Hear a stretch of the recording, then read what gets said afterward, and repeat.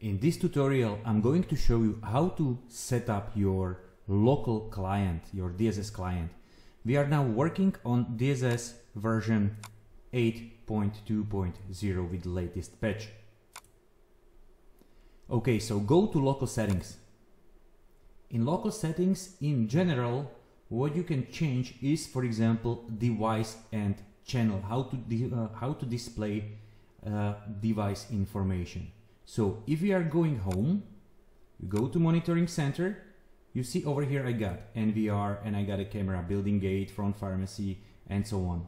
Then I have some specific cameras connected directly. So this is the camera front pharmacy, right? So you need to click over here, click on the channel and pull the channel over here. Or you can just drag and drop the device. If you drag and drop the device, for example, the NVR building, you are going to show all the cameras which are connected. As you can see, this one is disconnected. So channel offline. So this is when we are showing the node and the channel numbers.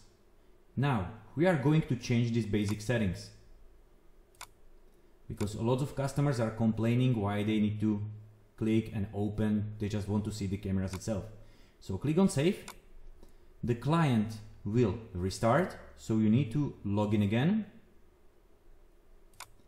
And once you log in, this change is already visible. So you go to monitoring center. Now we don't see over here any NVR, nothing. We got directly the cameras like the front gate or the backyard, right? Everything is over, over here. Next setting,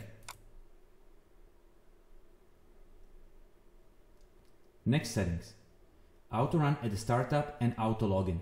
This is very useful when you are setting up the client for central monitoring station, hotel reception, or where the clients are all the time logged in into DSS. So you can set up this and the user don't have to remember the username and the password. Then CPU alarm threshold. Sometimes you can experience the small messages over here in the corner that you are overusing your CPU. So here you can specify where you want to receive the alarm. When the CPU reach like 50%, 60, 70 and so on. So let's keep it on 70 for example. And then you will get a pop-up. Auto lock client, so if you are not active, right, for a couple of minutes you can lock your client automatically. Next settings which we are going to which we are going to change is in video and here is very important. So the first default split, how you want your view in monitoring center to be split into four or more frames. So you can choose over here. Then how the DSS should start in original scale. So that's the scale which we were choosing over here, right, at the general. Or we want to show it on the full screen, so we want to show on the full screen. Then stream acquisition mode. This is very important. Okay, what are the options over here? Stream service forwarding or acquire directly, directly from the device. When we are using stream service forwarding, when we want DSS server to forward us the streams. If we want to acquire directly the streams from NVR, let's say we are sitting in building in city A, uh, where we don't have the DSS server, but next to us is NVR and from this NVR we would like to retrieve the video footage. It doesn't make sense to forward all the video footage to city B and then back to city A. For us, in this case, we would choose acquire direct, directly from the device. So if we are sitting next to the NVR, for example, in the same building, in the same physical building, if we are in the same physical building with the DSS server, we can ask the stream service forwarding via DSS especially when more users are requiring the same streams as well. So this is up to the location, where is the DSS client located. Then decoding mode, very important as well. By the default is software decoding by CPU, but if you have GPU, so you have dedicated graphical card, you can choose decoding by GPU. So you will not occupy your CPU by decoding the images. It might you might be in the situation that you want to use both CPU and then GPU. So really a lot of decompression, uh, multiple screens and so on and so on and you have a powerful CPU. So you can choose performance mode. Over here you can set up for example up to 50% of the CPU when, when you occupy CPU for more than 50% start using GPU or if you are occupying by 30% CPU start using GPU whatever you think. I recommend something like 50% of CPU is a threshold and then starting using the GPU. If you want to use the GPU something different, choose directly GPU. Then, if we are talking about using CPU and GPU for the compression of the H.264, H.265, I don't think so it's really like necessary to show the full streams of the of the images over here in the small window. As you can see right now, we are decoding over here uh, 5 megapixel, right? Over here as well. This is pretty much useless because we are showing the image in really small screen. What's the difference between the image if we put in the full screen or in the full resolution or substream? You can just test it if you want. So choose the substream. So here's the difference between the quality. Honestly, I think this quality is enough, especially when we have a split window like 9 or so. It doesn't make sense really like to use the main stream. So one of those will be substream. Over here we got the substream and over here we have a mainstream.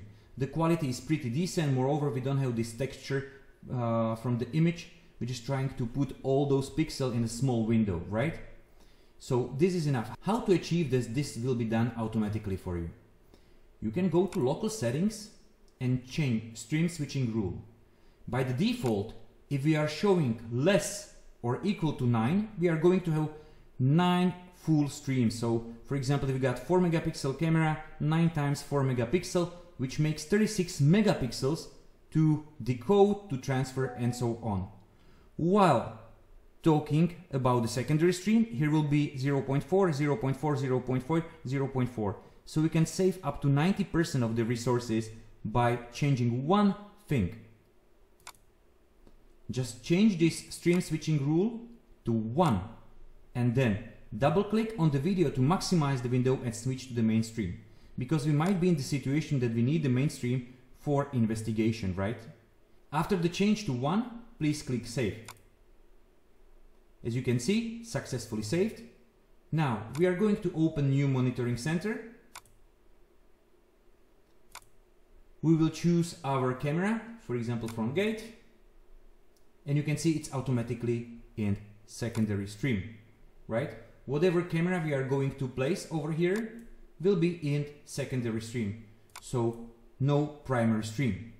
When we would like to see more details, we can all the time double click on the image and it will automatically change from substream to mainstream. So that's how we can save lots of bandwidth. And switching back to secondary stream again. So this is how easily you can work with the DSS client and save lots of bandwidth. So this is very useful trick or setting. Don't forget to mark this option, double click on the video to maximize the window and switch to mainstream. If you wish to open your last view automatically, for example, you close the client right now, but when the client will open for the next time, you want to see exactly the same images, go over here, display the previous live review after the restart. So it's very useful. If you close the client, it will open in exactly the same way how it was closed last time. Okay, the next thing. Let's say you have many monitoring centers like I have right now, and you want to show this on the multiple screens. As you can see, everything is showing on my primary screen. This is not a problem. All the time, just drag and drop the window. Now you see I have one window and second window. Place this second window on the other screen.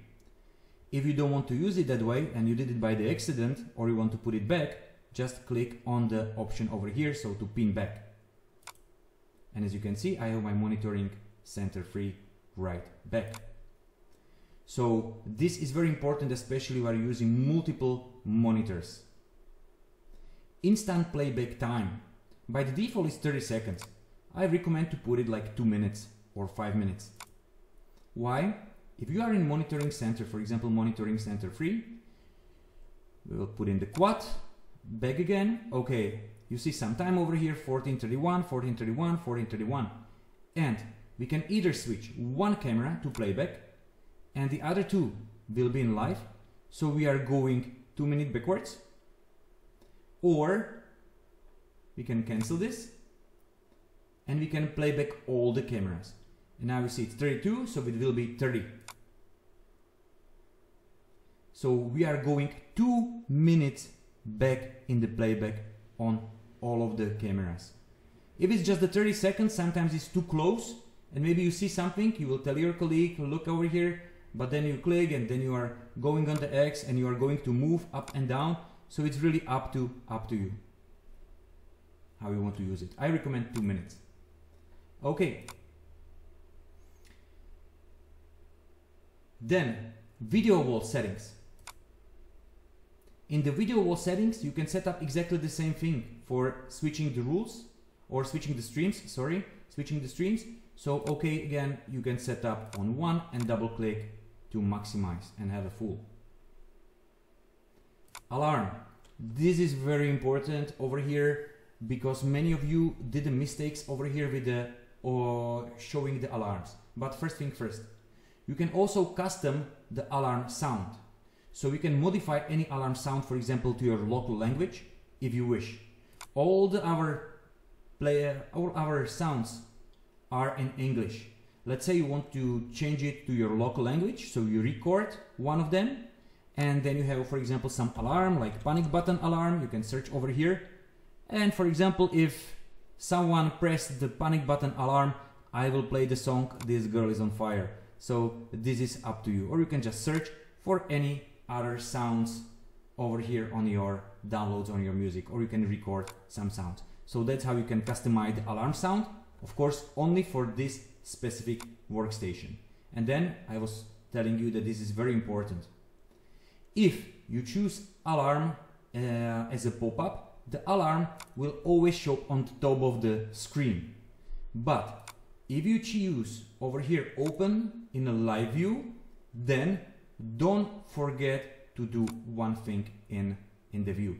Click on the right click and set as alarm window. You can see it got the red square. So here is the space where the alarms will show. If you don't do that, for example, you forget to select the window, the alarm will not pop up, they will not be shown on the operator screen. So if you decide to move, to change this, open in a live view, don't forget to set up that, uh, that option. Then if you have a map, I always recommend to turn off this notification when there is an alarm. Let's blink my device on the map, very important. So we have 20, 30 cameras on the map. The camera, which will be in alarm, starts flashing on the DSS. Then we have file storage. Over here you can choose where the local recordings and local images should be stored.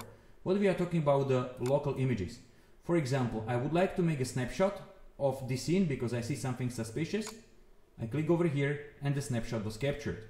I can do also local recordings and those recordings will be recorded on my DSS client. Of course, you need to have a privilege for that. You can also ban this now for your operators from the version 8.2. Once I stop the local recording, right, I can also play my local recordings over here so no problem. I can review them anytime. Okay, next setting, what we have over here is the shortcut keys. You can use the shortcut keys for navigating or working with your PTZ camera to go to open the, for example, new window, to log the client, to move the PTZ. You can also move your PTZ. Computer gamers really like those keys to navigate, so it's up to you. If you connect USB joystick to your DSS client, this is mandatory. You need to change this. So joystick USB keyboard. So you need to change this and click save. Otherwise, you will not be able to use your PTZ joystick. Okay, so this is like the few general things which you should think about while you are selecting or setting up your client. I hope this video was helpful for you. Thank you for watching.